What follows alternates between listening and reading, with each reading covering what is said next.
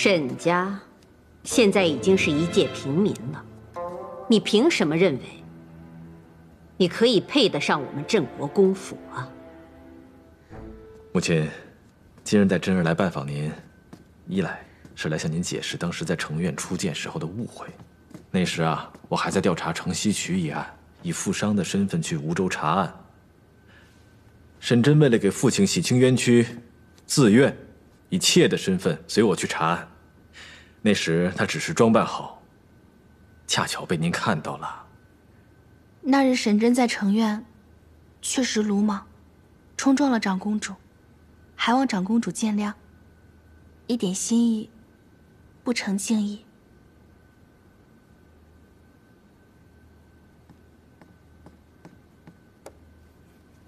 打开看看，嗯，挺别致的。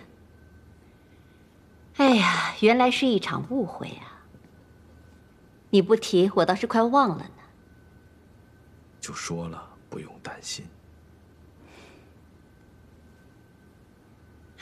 你刚才说一来，那二来是什么呀？二来就是见过长公主，许巍出现了。公事要紧，快点去吧。走吧。沈二娘子，在。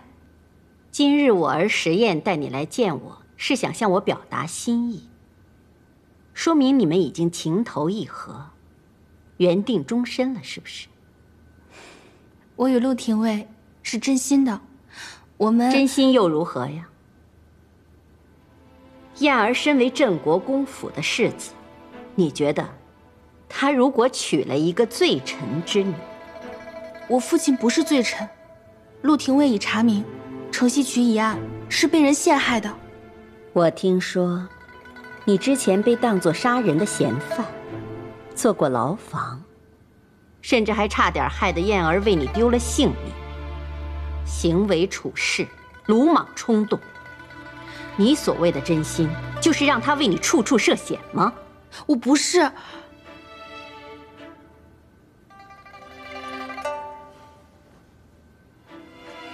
沈家现在已经是一介平民了，你凭什么认为你可以配得上我们镇国公府啊？是，人人都很钦羡，生在皇家是何等的荣耀，却不知一生与权势相伴，是福也是祸。所以燕儿的妻子。必然是，也只能是，一个拥有强大家族权势的豪门贵人，他以后的路才会更好走。你一无所有，你的真心，你的真心会给他带来什么呀？不论是皇家，还是布衣，一生都不会毫无波澜。总会有起有落，在利益面前，难保不会有人因私而横生枝节。而长公主所依赖的权势和地位，就真的能够稳固如山、牢不可破吗？沈真认为，只有两人真心相待，才能真正的不离不弃。若您一厢情愿的让他娶了旁人，那他这辈子真的会开心吗？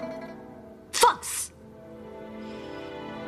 今日前来，沈真唐突，告辞。